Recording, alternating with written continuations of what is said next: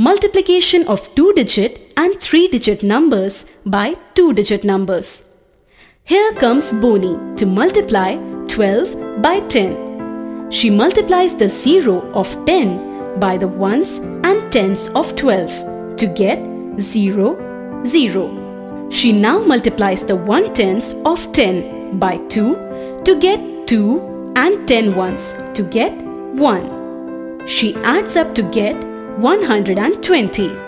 She puts up this 120 and multiplies by 10. She follows the same rule. 0 multiplied by 1, 2 and 0 is 0, 0, 0. Now she multiplies the 1 tens by 0 ones to get 0, 2 tens to get 2 and 100 to get 1. She adds up to get 1200.